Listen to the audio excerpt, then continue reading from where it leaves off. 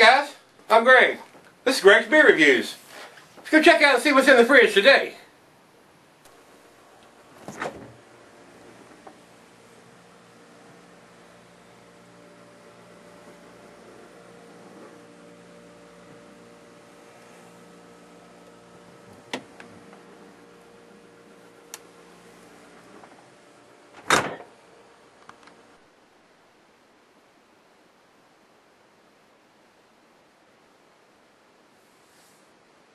Hello everybody, thanks for stopping by Greg's Beer Reviews today. Today's beer is Jabby Brau Session Lager from Jack's Abbey. Uh, Jack's Abbey Brewing is out of Framingham, Massachusetts. This is one of the beers that uh, that Brandon sent me on the, the beer mail uh, video y'all have seen uh, a couple days ago that I posted. This is uh, this is supposed to be a really nice session lager with some hoppy notes to this, which is going to make me happy since I'm a hophead. Uh, maybe this will be a hop lager. What do you think, guys? The uh, beer is year-round from them. Uh, American Pale Lager 4.50, so very low ABV. You want to be able to. That's that's probably where they got the session lager from. What do you think? Very low ABV, lets you drink more than one of them without getting too much of a buzz.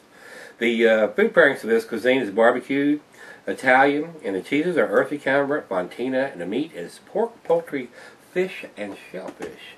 Glassware is pickle, pickle, pilsner, uh, pokal, uh, or I have the the wide mouth glass here. I don't know if this is technically considered a uh, pilsner type glass, but that's what I'm going to use it for in this case, guys.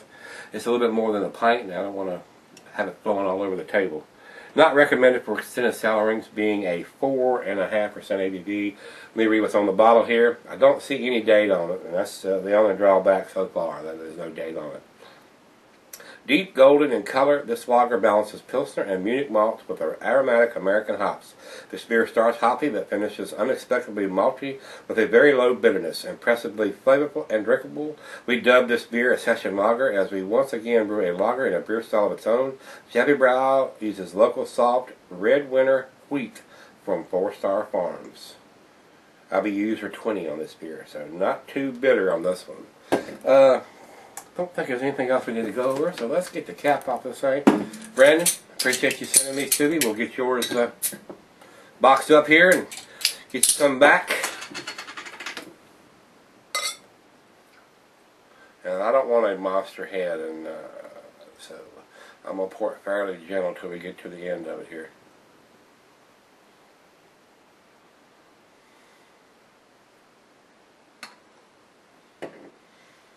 Wow. I'm getting some hop notes already from there, and very unusual for a lager for me to be smelling hops. So it pours a very golden, honey-colored beer in the glass. A lot of bubbles streaming up there. Very, very carbonated there, guys. Look at the bubbles streaming there. Almost like a macro lager in there. If I didn't know better, I swear somebody poured a, a Bud or a Miller in that glass. A lot of bubbles in there. Looks pretty good, though. Let's get a nose on it. Wow. There is a severe hop presence to this beer. Wow. That smells so good. That is probably the best smelling lager that I think I've ever smelled. I'm getting a I'm getting a piney citrusy smell too. A little bit of grapefruit. Smells very sweet. Some tropical fruits, maybe. Some mango or something in there. Masking the typical lager smells of grassy, grainy. Wow, that has such a great smell. I'm blown away on the smell. If the taste is as good as the smell, it'll be a winner, guys. Well, here we go. Cheers, Brandon.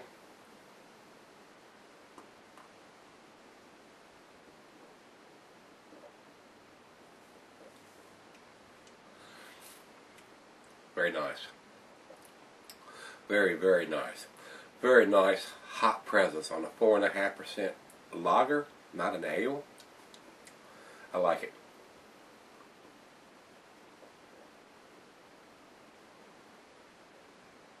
That is delicious. That's probably the hoppiest lager I've ever had. Other than what I make by myself very out of style, and that's why they say uh, they created a style. So it's a hop lager, no doubt about it. And it don't have the bitterness to go with it. Usually, if you get a lot of hops taste, you're getting a lot of IBUs to go with that hop taste, and they've done a great job. I've only 20 IBUs that have this much hop presence in the beer. Great job, great job.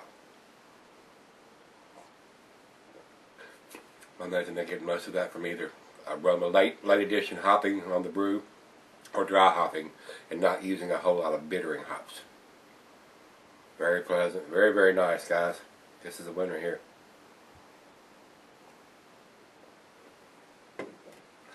Definitely believe this is going to be an A beer, guys. Stick around. I'll be right back. I'm going to let the other half taste some of this, and we'll see where this one ends. Alright guys, thanks for sticking around. Got just a little bit left in the glass here. This is a pretty tasty beer. This is probably one of the hoppiest lagers I've ever had. So, being a hophead, that's a win-win for me, guys. Final chug.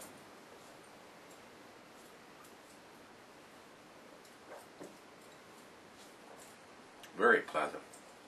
That is a very, very nice lager. If you're a hophead, you will love this lager. Very nice hop presence uh, on this beer and no bitterness to go with it. 20 IBUs. Wow, very tasty. This may be one that the ladies may even uh, uh, be a good intro beer for them to get into some of the hoppier beers. So, uh, guys, as far as I'm concerned, uh, I'm gonna give it an eight. It's an A minus. It's definitely an A beer.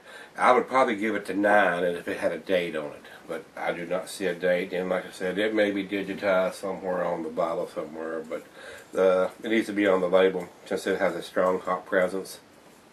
You wouldn't want to drink this a year or or so, especially with that low of an ABV, and plus the hops are going to be gone by then anyway. So you need to have a date on it somewhere, guys. Uh, especially on the label. That's where I like to see it that way, and not in any kind of code. Just put it in there. I mean, uh, whatever the two-digit date, the month, and I, I, can go with two digits for the year if you don't want to put four digits, but give us some kind of date on here, guys. So uh, that's what I'm gonna say.